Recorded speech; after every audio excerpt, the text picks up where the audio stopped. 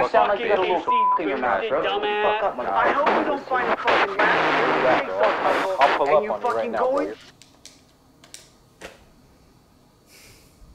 Hey guys, let's have a great game. You know, all I know is, win or lose, I'm gonna do my best. What is this? What's going on? You are having an enjoyable online gaming experience.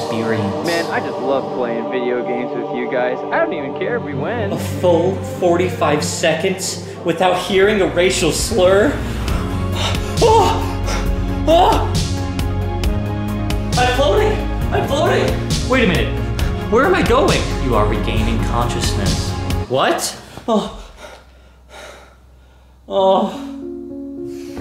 Although it wasn't real, maybe it was a lesson.